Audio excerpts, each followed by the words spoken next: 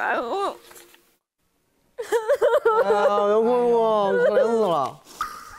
余秋楠，十次，对不起，我得走了。第二次，对不起，我得走了。对不起，我得走表演。老师让何宇表演用眼睛跟我说再见。然后说了十遍再见，每一遍我都感觉这个人快要消失了，我就心碎了。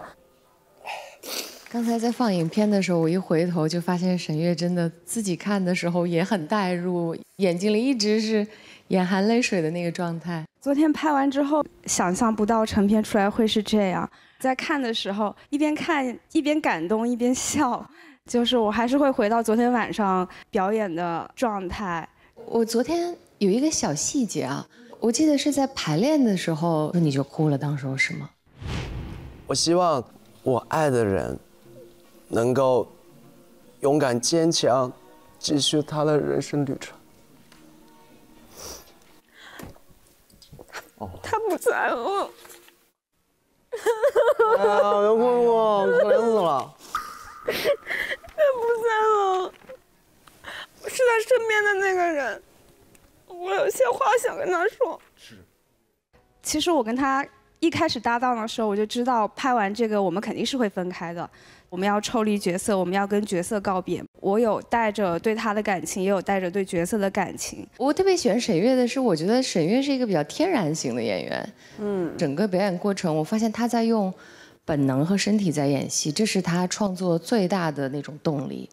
你给我是觉得你拿捏的很好，你的眼泪。其实你们两个的外形真的是没话讲，是演员的好条件。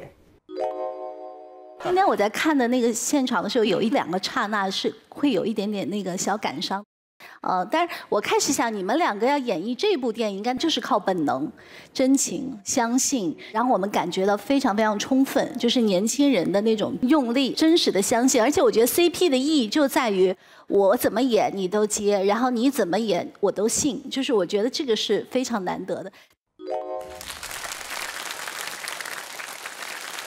演得好。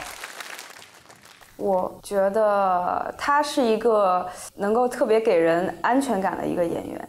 我觉得我俩就是现在这种距离刚刚好。对，反正就是待一起很轻松。对我，我最大的收获是，就是这一整个体验过程来的非常的迅速又饱满，嗯，让我觉得这一趟整趟都收获很大。